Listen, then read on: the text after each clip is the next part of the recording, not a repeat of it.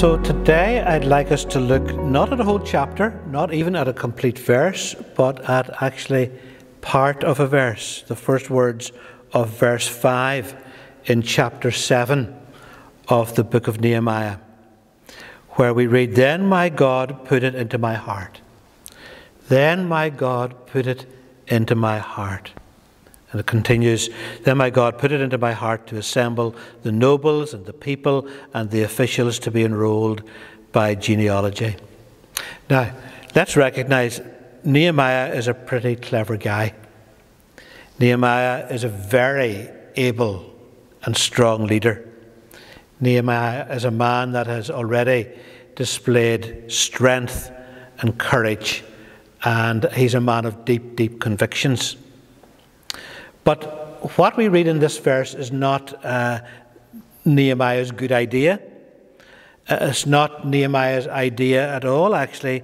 We are told that God put something into Nehemiah's heart. God put something into Nehemiah's mind.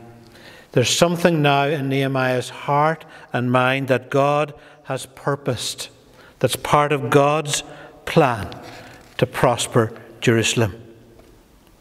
God is looking today for a people who will listen to his voice. God is looking for a church that today will hear his voice. And God is looking for a people in the church today who will obey his voice. The early church began in the city of Jerusalem. Why Jerusalem? Well, Jerusalem because that was where God told them to begin. And they began where he told them to begin. It was his idea. Paul was led by the Holy Spirit to take the good news of the gospel to Europe. It wasn't Paul's idea to go to Europe, it was God's idea that Paul would go to Europe. We need today to be a people who hear the voice of God and who heed the voice of God. There's a little verse in John 10 that I just love. When he has brought out all his own, he goes before them, and the sheep follow him because they know his voice. Because they know his voice. Get to know his voice. Let's listen to his voice. As we read our Bibles, God speaks to us and he teaches us how to live. He teaches us his ways. He teaches us how to live godly lives as followers of Jesus Christ. When it comes to where to live, or what to prioritize, or how to start a, a new ministry, or, or who to ask for help. God speaks to us by the still small voice of His Holy Spirit. And He also speaks to us through His Word.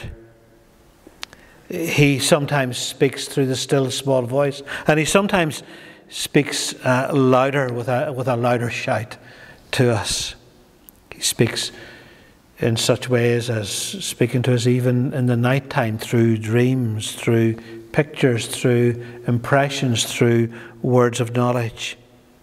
We don't always hear God's voice clearly, but God speaks. Here, God spoke. He spoke to Nehemiah. When God is our shepherd, when God's the one that we love with our hearts and with our minds, He puts His ways and His plans before us.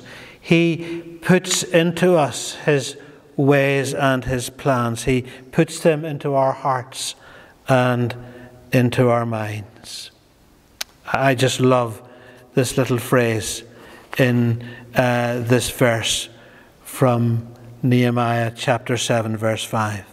Then my God put it into my heart. I'm going to close this short devotion today with a, a, prayer that I found in a, in a book by a man called Charlie Cleverly.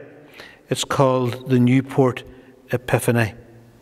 Here's the prayer Facing the high tide and seeing salvation, glimpsing God and heaven open, as clouds roll in from the sea, you're here, and all makes sense.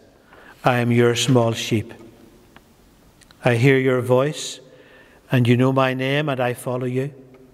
Nothing will snatch me from my Father's hand, because my Father is greater than all, and I am yours. O great shepherd of my soul, let me love you more. And those you love, all mankind, my enemies, my friends, those who hate you, those who love you, lead me to them. Lead me where you would have me go. Amen. And as you're sitting quietly in God's presence, take a moment uh, and take that little phrase, My sheep hear my voice. Uh, and just pray this prayer Lord, would you unstop my ears? Would you, Lord, tune my heart to your heart? Help me to hear you, to hear your voice, to heed your word. Lord, just sharpen my hearing and make me an attentive listener for Jesus' sake. Amen.